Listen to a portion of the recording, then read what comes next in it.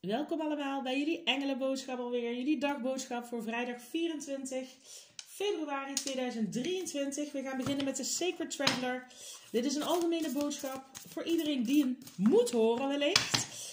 Dus kom je toevallig uit bij deze video, dan kan er een boodschap voor jou uh, naar voren komen. Dus blijf vooral luisteren. Maar dit is natuurlijk voor het collectief. Dus het kan en zal niet voor iedereen uh, resoneren. Dus neem gewoon mee wat resoneert, waar je iets aan hebt. En laat de rest los of voor iemand anders. Universum. Wat is de boodschap van de Sacred Traveler voor vrijdag 24 februari? Wat is de boodschap die wij mogen ontvangen? Welke boodschap mogen wij meenemen? Wat is de energie? Graag een heldere, duidelijke boodschap. Vrijdag 24 februari. Eén kaart alstublieft. Ja. En de boodschap voor vrijdag is: begin nu. Wacht niet langer. Wacht niet tot het het juiste moment is. Blijf niet dingen uitstellen, maar begin nu. Nu is het juiste moment. Dus laat het universum ook datgene wat je graag wil, wat je wil manifesteren, naar je toe komen. Begin nu. Neem de eerste stap, is de boodschap.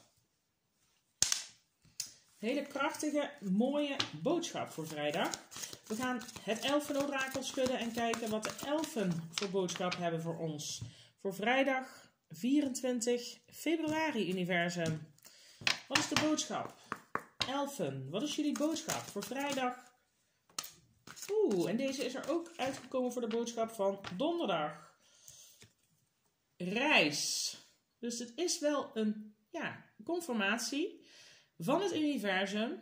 Dus het zal voor ja, wellicht een, een, een, groep van jullie resoneren. Bereid je voor op het maken van een reis. Het kan een geplande of onverwachte reis zijn. Hoe dan ook, wees er klaar voor. Pak je paspoort maar in.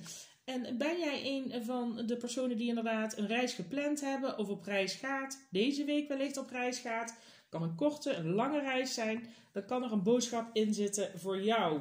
Al twee dagen op een rij hebben we dezelfde kaart reis. Onder op het dek hebben we de kaart vriendschap. Elfen hebben net als mensen vrienden nodig. Het is nu het moment om uit te zoeken wie je zal helpen en aanmoedigen op je reis. Om je dromen waar te maken. Dus wie uh, van je vriendenkring, van je naasten, in je omgeving, zal je helpen en aanmoedigen. Om je dromen waar te maken en wie niet. Dus dat is jullie boodschap van de elfen. We gaan de engelen antwoordenkaarten nu schudden en jullie mogen een vraag in gedachten nemen. En heb je geen vraag, oh, en dan wil meteen uh, één kaart uitspringen, die nemen we mee. Heb je geen vraag, maakt het ook niet uit, dan gaan we gewoon kijken wat de boodschap is. En de eerste boodschap die is er al uitgekomen. Het is aan jou. De keuze is aan jou. Neem de eerste stap en ben klaar om te ontvangen datgene wat je graag wil. Sta er open voor.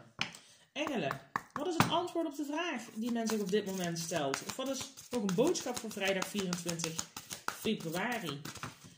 Wat is het antwoord op de vraag? Of wat is nog een boodschap voor vrijdag 24 februari? Luister naar je intuïtie.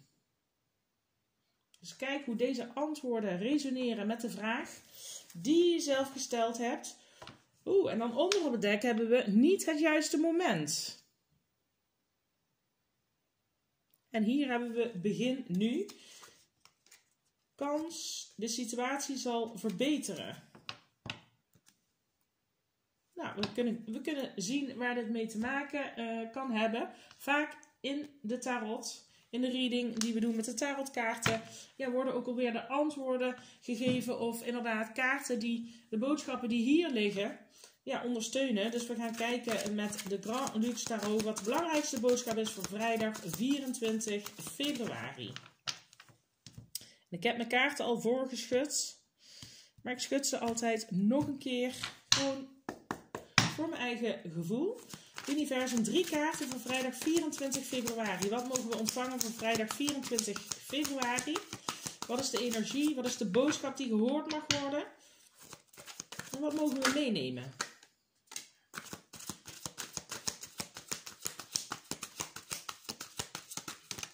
Ja, dankjewel. We hebben twee kaarten die ook voor de donderdag tevoorschijn zijn gekomen. We hebben de Pentakels 9. We hebben de Hoge Priesteres. Oeh, en we hebben de Zwaarde 7. Onder op het dek. Jeetje. De Staven 5. Er kan een geheim aan het licht komen. Krijg je meteen met deze kaarten door. Meningen die botsen met de staven 5, conflicten. Je voelt misschien intuïtief aan dat iets niet uh, klopt. Iemand kan zich single gedragen met de pentakels 9.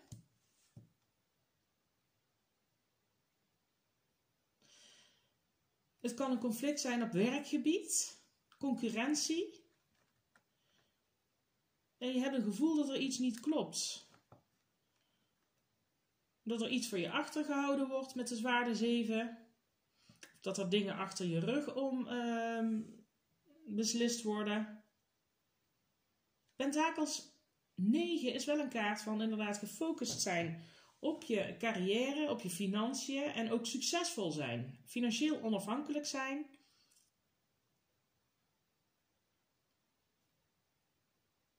Kan iemand zijn die wat materialistisch is. Er kan een conflict zijn uh, binnen de werkplek over een beloning.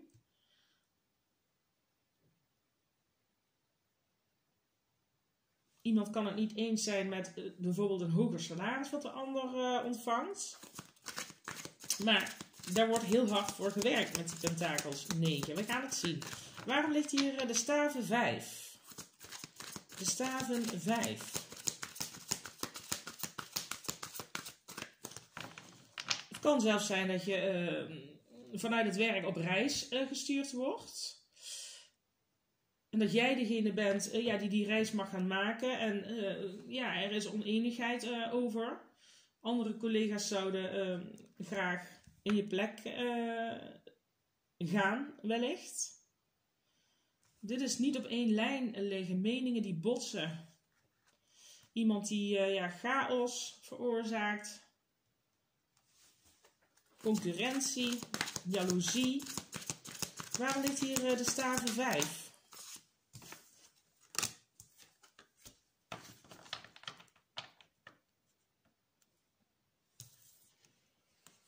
Ridder van Kelken, ja. Ridder van Kelken, dit kan zijn um, een energie van vlucht, uh, een, ja, een hele luchtige energie, iemand tegenkomen, verliefd worden, boodschappen vanuit het hart. En we hebben de staven 4. Een kaart van soulmate, twin flame energie, een stabiele basis, je roots, uh, succes behalen in een situatie, vreugde, goed nieuws krijgen. Ja, ik heb het gevoel dat er uh, goed nieuws komt en dit kan te maken hebben met een zakelijke reis, zoals ik zei. Dit kan te maken hebben met je financiën. Dit kan te maken hebben met je carrière, met je ja, onafhankelijkheid. En uh, ja, er is conflict over. Er is iemand die het niet eens is hiermee. Waarom ligt hier die pentakels 9?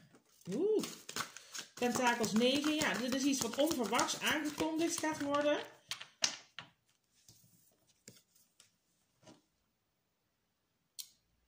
De toren.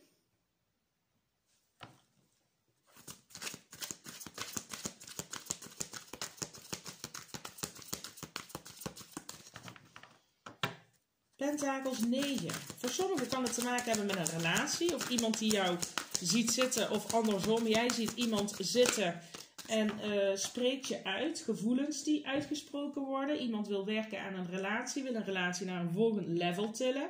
Iemand uh, wil misschien met je samenwonen. Iemand wil uh, verloven. Dit kan zelfs ja, het staan voor een huwelijk. En het komt onverwachts. En we hebben hier die single-energie met de pentakels 9. Je bent heel onafhankelijk. Als het jullie energie is, stier maar steenbok. Maar er is iemand uh, in jouw omgeving of in de omgeving van de ander die het hier niet mee eens is. En dit kan eh, in de vriendenkring zijn, dit kan in ja, collega's op het werk, maar dit kan ook te maken hebben met familieleden die het ergens niet mee eens zijn. Er, zijn, er is spanning omtrent eigenlijk een heel ja, een goed nieuws. Een hele liefdevolle energie. En succes in een situatie. Kijk. Aas van staven.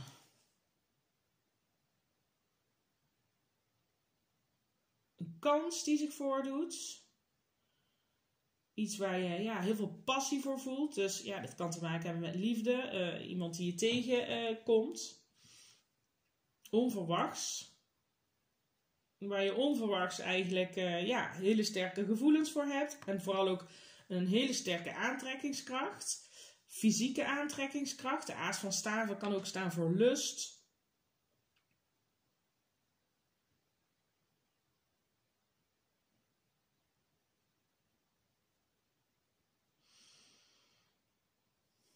Dit kan ook staan voor een one-night stand met die toren.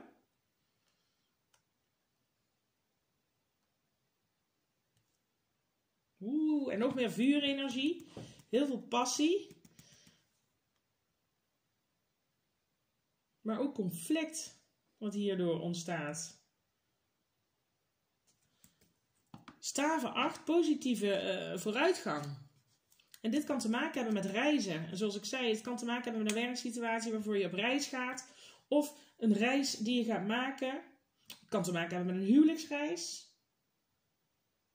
Of iemand vraagt je mee op reis. Het kan zijn dat je eindelijk het geld bij elkaar verzameld hebt door hard te werken. Uh, zodat je eindelijk datgene kan doen. Voor sommigen van jullie kan het te maken hebben met teruggaan waar je vandaan komt. Dus je familie bezoeken. Waarom ligt die toren hier?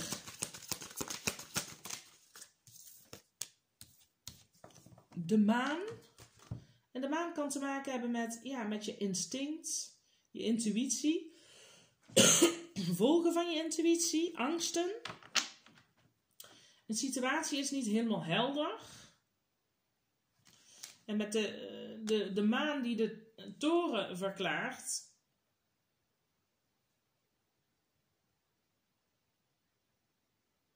kan het zo zijn dat je uit je comfortzone gaat stappen.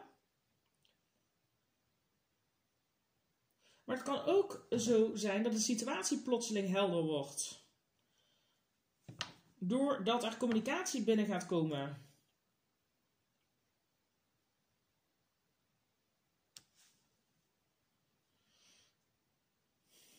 Iets waar je misschien uh, al lang het gevoel van had dat het niet klopt of dat het anders in elkaar steekt als dat, je, dat het lijkt. Kijk, we hebben die schildknaap van zwaarden ook. Dit is iemand die doet onderzoek, iemand die wil meer informatie weten, iemand is nieuwsgierig. Je kunt te maken hebben met nieuwsgierige mensen die alles willen weten.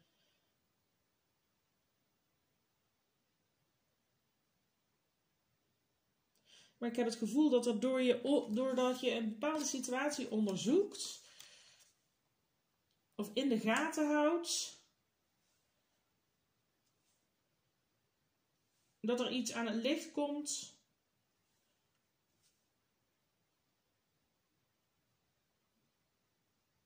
En dat kan te maken hebben met een, ja, iets met heel veel passie. Waar ligt hier die uh, aas van staven? Aas van staven. Oeh. Ja, een hele snelle energie. Een hele snelle energie.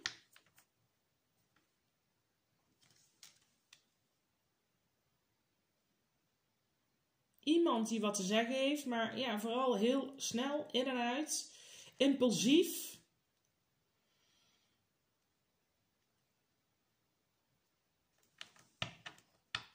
Nog een kaart voor de Pentakels 9, alstublieft. Oeh, en die vliegt eruit. Pentakels 2.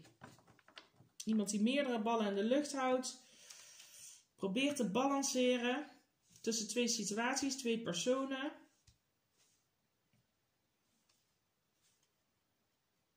ja, er kan een conflict ontstaan omdat er iets aan het licht komt. Iemand heeft zich gedragen als zijnde single. Je had al het gevoel dat er eh, iets niet klopte. En eh, er kan communicatie komen. Er kan iets aan het licht komen. Iets wat geheim gehouden is met de hoge priesteres.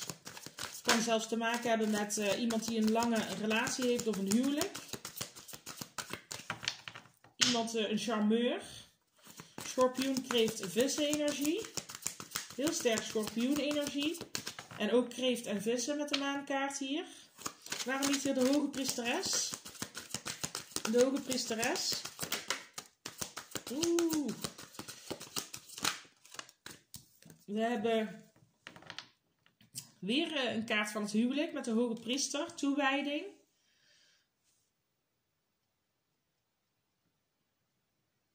Een heel sterk gevoel. De hoge priester onder de hoge priesteres. En dan de koningin van Kelken. Wederom een energie van ja, intuïtie volgen, je hart volgen. Iemand die heel zorgzaam is, liefdevol is.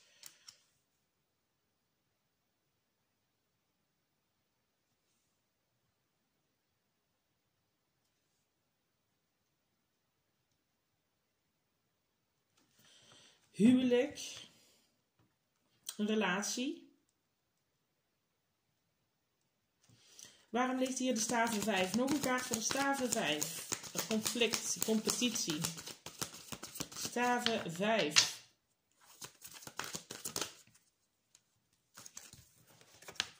Sterkaart.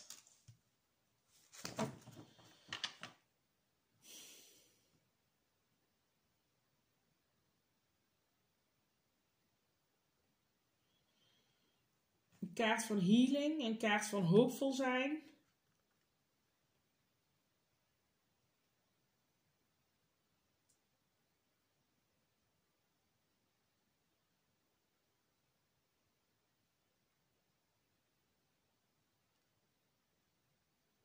Luister naar je intuïtie hebben we hier liggen.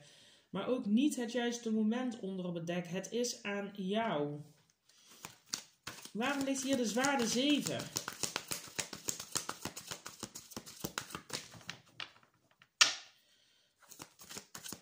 De zwaarden 7. Kelken 6. Nostalgie over het verleden. Iemand missen. Soulmate energie.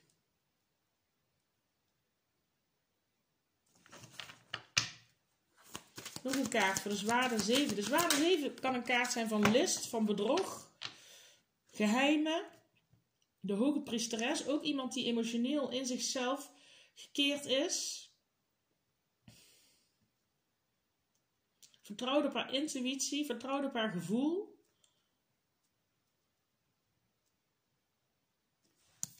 En dan hebben we voor die zware 7 dus niet alleen de kelken 6, maar ook de aas van kelken. Een nieuw begin. En het rad van fortuin onder op het dek.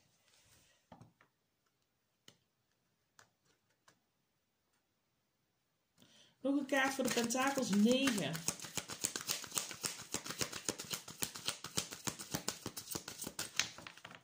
Pentakels 9.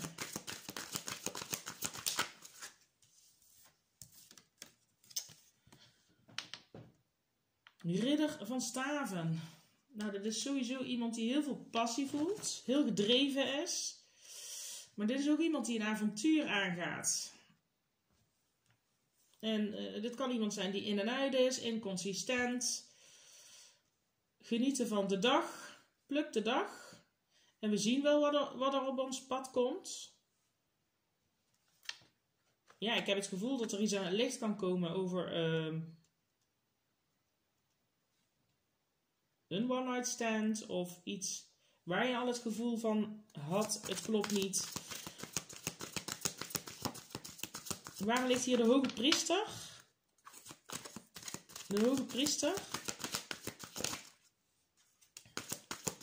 De hoge priester. Stierenergie. De hoge priester. wordt verklaard door de koningin van staven en de zwaarde 6. Dus we hebben twee koninginnen. En de koningin van staven, dat is iemand, ja, dat noemen ze de meest sexy koningin uit het dek. Dit kan ook iemand zijn die heel verleidelijk is, uh, zelfverzekerd, heel spontaan. Ram, leeuw, boogschutter energie. En we hebben hier schorpioen, kreeft, vissen. Twee koninginnen.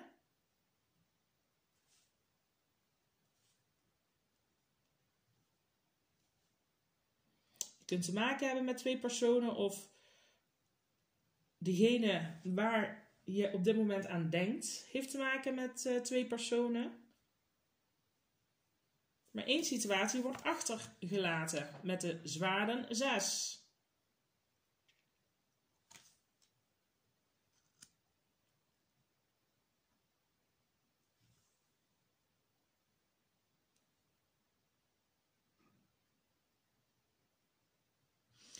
Iemand wil het verleden achter zich laten met de kelken 6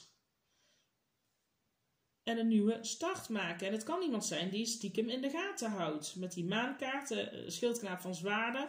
We hebben hier die zwaarden 7. Het kan iemand zijn die, uh, ja, waar je een hele sterke fysieke aantrekkingskracht uh, mee voelt. Een hele sterke aantrekkingskracht. Kan iemand zijn uh, die echt ja, een verleiding is voor je. Iemand waarvan je misschien weet uh, dat het niet de juiste persoon is. De hoge priester, als dit jullie energie is, stier, dit is iemand die ja, traditioneel is, het wil doen volgens het boekje, het goede wil doen.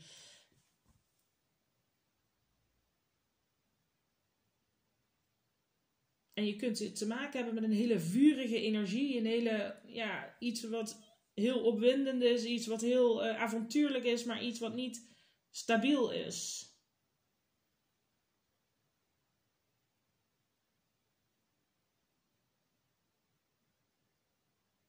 Iemand die wel de juiste dingen weet te zeggen en waarvan je hoopt dat het kan leiden tot iets stabiels, maar we hebben hele vurige energie. Het kan ook iemand zijn die inderdaad aangeeft, ik wil me toewijden aan deze connectie. Oeh, we hebben hier de zware 10. En ik heb nog niets gevraagd. We hebben de gehangene. En we hebben de staven 3. Situatie die beëindigd is.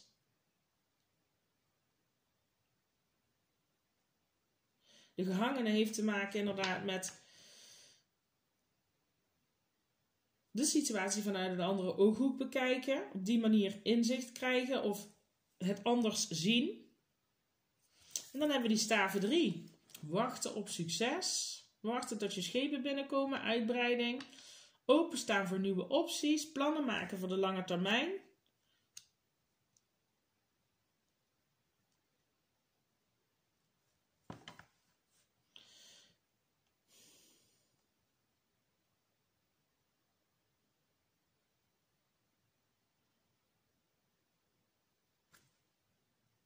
Onder op het dek de kelken 5. De kaart van je down voelen, teleurgesteld zijn, focussen op ja, wat er gebeurd is, wat er misgegaan is, een gemiste kans wellicht met iemand. En dit kan ook het gevoel zijn van je persoon. Maar deze situatie is beëindigd. En uh, je staat weer open voor iets nieuws dit is iets waar je geen vooruitgang in zag met de gehangenen. Waarom ligt hier uh, die ridder van Kelken? De ridder van Kelken. Je hebt misschien een innerlijk conflict omdat je je afvraagt, zit er nog een toekomst in? Is er nog hoop? Ridder van Kelken wordt verklaard door de Kelken 10 happily ever after. Ja, gelukkig zijn. Samen, uh, samen gelukkig zijn, samen oud worden. En we hebben de zegenwagen. Dit is iemand die de eerste stap durft te zetten, het verleden achter zich laat. En een zegen behalen. Succes behalen. Dus het kan iemand zijn die inderdaad uh, gouden bergen belooft, maar je hebt een innerlijk conflict. Je vraagt je af of je wel op één lijn zit, of dit wel stabiliteit uh, gaat bieden. Of je inderdaad het geluk zal vinden, of deze persoon consistent is en zich zal toewijden aan de connectie, of weer de situatie zal verlaten. Zal er positieve vooruitgang komen of niet? Vertrouw hierbij op je intuïtie. En ik heb het gevoel dat jullie de situatie niet vertrouwen. Het is misschien te mooi om waar te zijn. Het gevoel is heel erg sterk, maar kijk onder op het dek. De wereldkaart. De wereldkaart is een gelukkig einde van een situatie en een nieuwe, de nieuwe grote fase van je leven die ingaat. En iets wat meer geluk brengt. Iets is afgelopen met de wereldkaart. De lessen zijn geleerd. Iets achterlaten.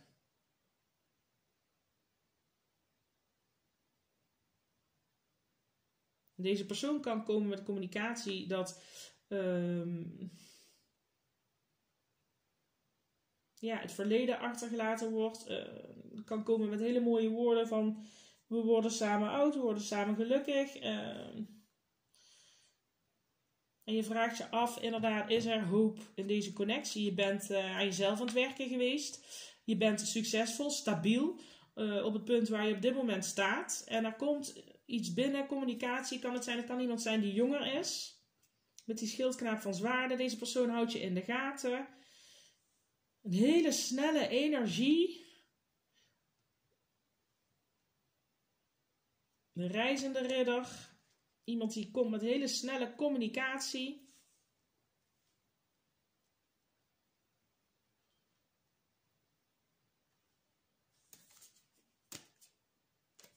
Zwaarde 4, nadenken over de situatie. Kelken 4. Je hebt je twijfels en ik heb het gevoel dat het te maken heeft met iemand waar je al ja, teleurstelling en verdriet en pijn hebt meegemaakt. En zoals ik zei, dat kan iemand zijn die in een huwelijk of lange relatie zat.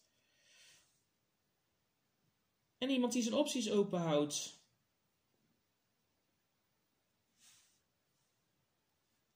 Maar iemand die inderdaad uh, op dit moment aan het bedenken is hoe, welke strategie, wat ga ik doen om uh, weer terug te komen. En dit nieuwe begin. Kelke aas. Iemand mist je. ja. De dwaas, een nieuwe start. Het verleden achterlaten, positief aan een nieuwe toekomst beginnen, een nieuwe start maken. Het risico nemen om nog een keer uh, te proberen. Wellicht met een uh, excuus, excuses. Boodschappen vanuit het hart, een nieuwe emotionele ervaring met die schildknaap van Kelken. Deze persoon ja, ziet je als een wensvervulling, denkt over je na, droomt misschien over je.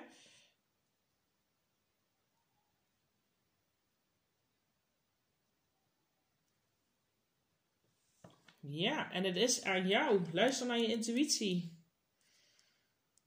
Staven 2. En wat je ook, ja, je intuïtie je ingeeft, wat je ook gaat doen. Iedereen heeft een vrije keuze. En we hebben hier begin nu. Begin nu met datgene te manifesteren wat je wil. En als het niet uh, te maken heeft met deze persoon, dan ben daar ook duidelijk in. Dus ja, dat is uh, de boodschap die ik voor jullie heb. En laat je niet opjagen om ja, een bepaalde keuze te maken. We hebben hier ook niet het juiste moment. Dat kan daarmee te maken hebben. Dus laat je niet opjagen. Heb ik het gevoel. Met die snelle energie wat we hier hebben.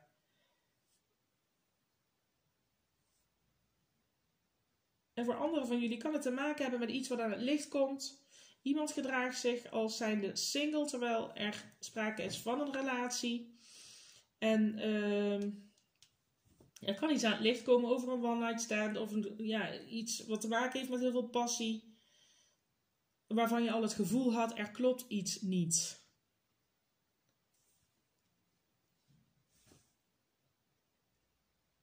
Ja, dus kijk hoe het resoneert. Dit is jullie boodschap voor vrijdag. Alweer 30 minuten zie ik. ik, ik, kan het maar niet kort uh, houden.